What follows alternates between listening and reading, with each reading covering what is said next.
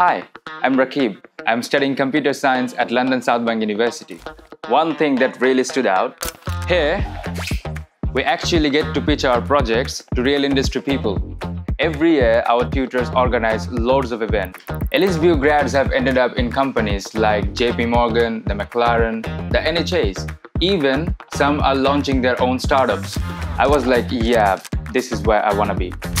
It's not just theory, it's about building real skills that take you places. At LSBU, we learn the mechanics behind the machines, UX designing, and how to build an application. What surprised me the most? The support here is next level. The course is really collaborative. You're not stuck coding alone all the time.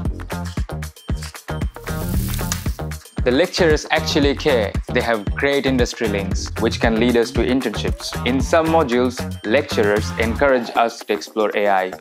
Presenting my work helped me build way more confidence. Studying here hasn't just made me a better coder, it has made me think like a creator who could actually build the next big thing.